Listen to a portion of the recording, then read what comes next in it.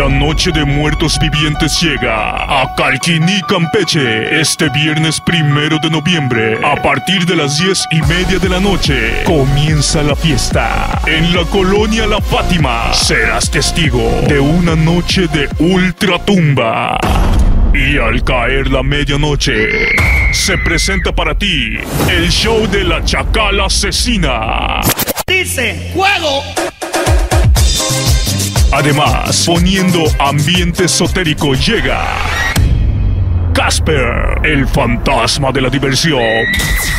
Con, todo su cargamento de audio e iluminación. Y como invitado especial, programando la música tenebrosa. DJ Herrera. Taquilla, 100 pesos por persona. Es un evento que no te puedes perder. ¡Te esperamos!